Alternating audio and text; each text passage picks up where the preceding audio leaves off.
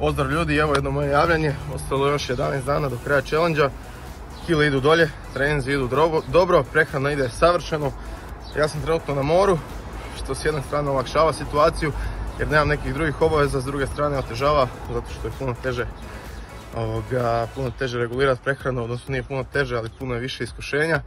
Ali eto, s obzirom da je zadnjih 11 dana, ja ću se na to e, fokusirati. Pratite na svom finišu jer će on biti definitivno najzanimljiviji. Evo ga ekipa, mogli ste vidjeti čut matka, znači imamo još nekih 11 dana, imamo još 5 kila za skinut, ja vjerujem da ćemo to uspjeti. Evo vidjet ćemo, možda ćemo raditi neki keto zadnji tjedan dana, to ćemo vidjeti, znači pratite šta se događa.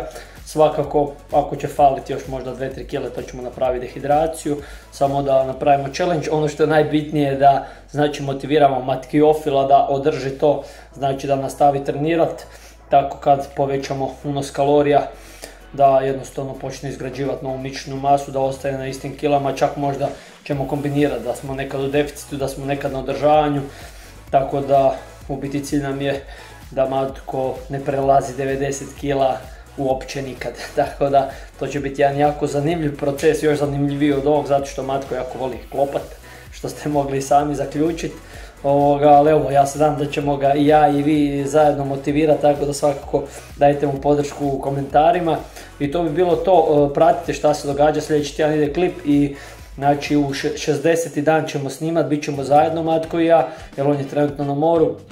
Možda će još u međuvremenu morati do Njemačke otići na brzaka, uglavnom snimat ćemo, sljedeći tjedan će biti jedan jako zanimljiv klip i onda ide zadnji klip gdje ćemo raditi testiranje, znači sve ove vježbe koje smo radili na prvom, e, na prvom videu, znači prvo testiranje, sad ćemo to opet odraditi da vidimo koliko je Matko napredovo, je li uopće napredovo, odradit ćemo vaganje, mjere i sve ostalo, tako da ovo će biti brutala, znači evo, do sad ide sve ono kako smo, kako smo i htjeli, imali smo ovaj break od 5-6 dana, Znači o tome ću vam isto imati šta pričat, nismo vam previše detalje otkrivali koliko je Matko dobio kila u tih 5 dana, kako smo to sve odradili, tako da ima, ima jako puno informacija koje ćete, e, koje ćete vjerojatno i sad želite znati, koje ćete saznat znači na ovom zadnjem videu.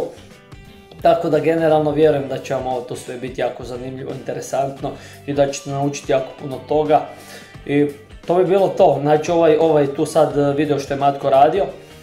E, to je brutalni kardio i snaga, znači mislim da ima 200.000 pregleda, preko 200.000 pregleda kojima te ja radimo i probajte, znači ostavit ću vam e, link u opisu i, i u prvom komentaru. Jako dobar trening sa dosta svojih online klijenata ga koristim jednom tjedno jer je zbilja ono ekstremno zanimljiv, težak i zahtjevan i nije dosadan.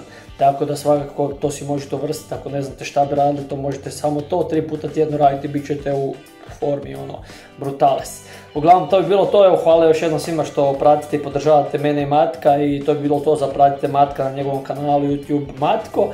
E, mene i na Instagramima isto možete vidjeti šta radimo i to bi bilo to, vidimo se uskoro, bok!